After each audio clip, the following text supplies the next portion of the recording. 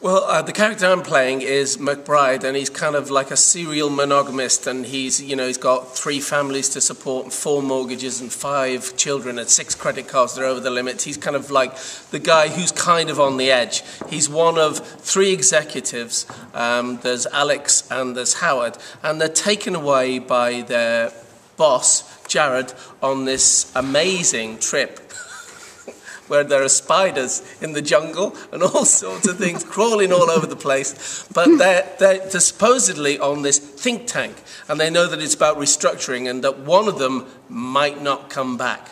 Um, so their jobs are kind of on the line, or so they think. Maybe, maybe not. But it's a great show um, about the male condition. It kind of tells you, you know, how, what we think, what we're like.